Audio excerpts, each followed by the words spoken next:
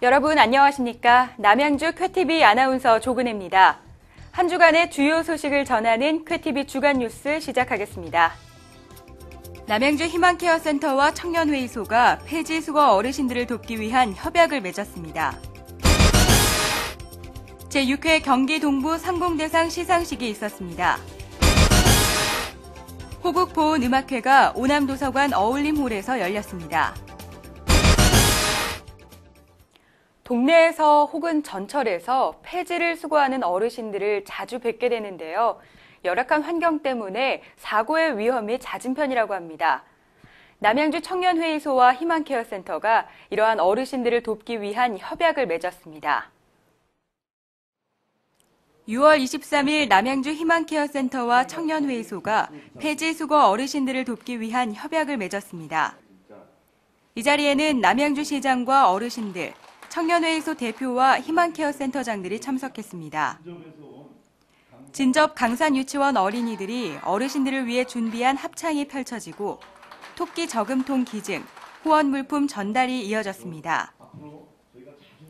남양주시는 이번 협약 체결을 위해 폐지 수거 노인 현황을 파악하는 한편 경제적으로 어려운 어르신들의 욕구 및 지원 현황을 확인했습니다. 이번 협약으로 청년회의소와 남양주시는 어르신들에게 모자와 의료 구급함 등의 안전장비를 지원하게 됩니다. 또한 1년에 두 번 외식 서비스도 제공할 계획입니다. 폐지를 모으며 주로 야외에서 일하는 어르신들에게 안전장비 보급이 조금이나마 도움이 되길 바랍니다. 또한 지역 내 어르신들을 위한 기업과 단체의 후원이 앞으로도 꾸준히 이어지길 기대해 봅니다. 지역의 발전을 위해 윤리 경영, 이익 공유를 실천해온 기업들이 한자리에 모였습니다.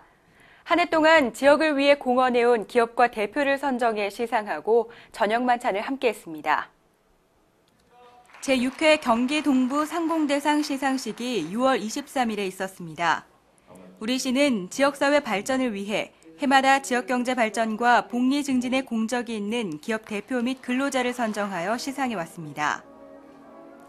이날 시상식에는 남양주 시장과 시의회 의장, 경기 동부 상공회의소 회장 등 내빈들이 참석했으며 경영대상과 공로상 등의 시상과 기념사 및 축사가 있었습니다. 이어진 2부 행사에는 CEO 특강과 만찬이 마련되었습니다. 허신생 전 농림부 장관이 새로운 문명사회 집단과 전망에 대해 강연했고 이후 저녁 만찬을 함께했습니다. 제6회 경기 동부 상공 대상에서 수상한 기업들이 앞으로 지역 경제 발전에 더 크게 기여하길 바랍니다. 또한 수상하지 못한 기업과 근로자에게는 이 자리가 새로운 도약의 계기가 되길 바랍니다. 6월 호국 보훈의 달, 지역 대중음악인들이 시민들과 함께할 수 있는 음악회를 열었습니다. 공연장을 찾은 시민들은 다양하게 펼쳐지는 무대를 즐기며 주말 저녁 시간을 보냈습니다. 호국 보훈의 달을 맞아 나라 사랑 의식을 높이고 보훈 가족에 대한 감사와 위로의 마음을 전하기 위한 음악회가 열렸습니다. 이번 공연은 우리 지역에 거주하는 대중 음악인들의 모임인 둘레 밴드가 재능 봉사의 일환으로 마련했습니다. 행사에는 순국 선열에 대한 묵념과 보훈 유공자 최고령자에 대한 공로패 전달 등 기념 행사가 이어졌습니다. 성악과 부채춤, 색소폰 연주와 벨리댄스, 둘레 밴드 공연 등 지역 주민들이 직접 참여하는 다양한 프로그램도 진행되었습니다.